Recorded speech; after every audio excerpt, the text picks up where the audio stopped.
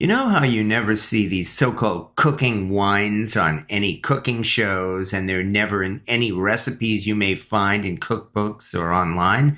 That's because these cooking wines quite simply suck.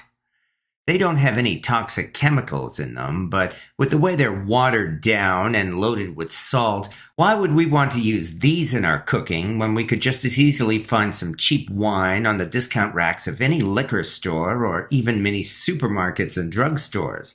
Julia Child once said, You should only cook with a liquor you're willing to drink yourself, so I'd rather cook with some real wine rather than one of those cooking wines.